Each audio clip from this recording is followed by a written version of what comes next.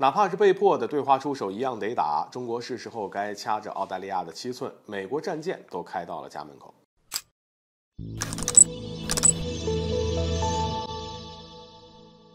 各位好，欢迎来到赵团长观察室。呃，最近一段时间，澳大利亚也挺活跃的啊，在和美国主导史上呢规模最大的护身军刀二零二三联合军演举行之际，接连对华出了两招。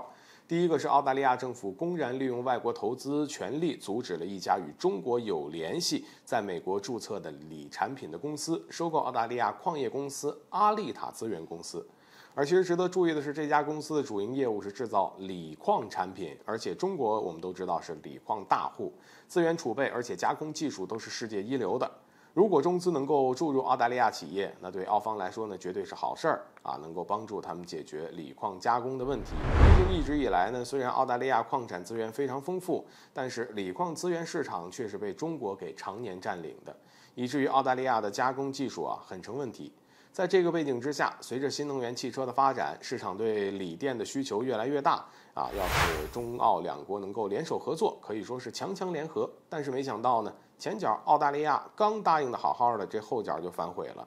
在澳大利亚政府阻止一起与中国有关的收购案之前啊，澳大利亚的外交部长黄英贤刚与中央外办主任王毅进行了会面，期间还特别想就这个收购案展开了交流。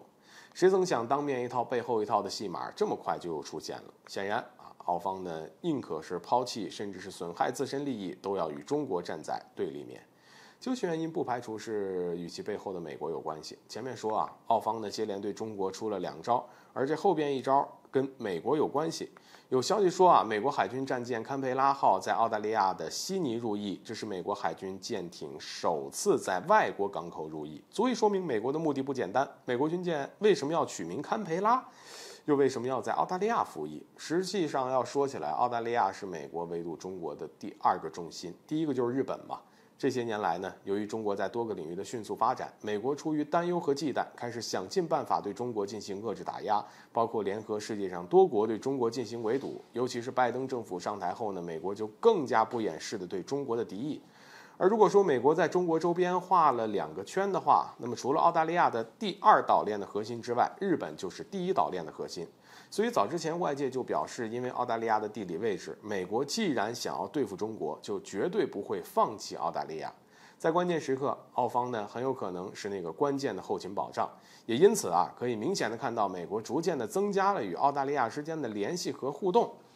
不知道大家记不记得奥库斯这个军事同盟？美英两国之所以坚持要向澳大利亚提供核潜艇，根本呢就不是想要帮助澳大利亚增强军事实力，而是想要通过澳大利亚压制中国。只有这样，美国才能继续保持维持自己在太平洋地区的存在感。所以，不管是日本、澳大利亚还是其他国家，对美国而言都是棋子。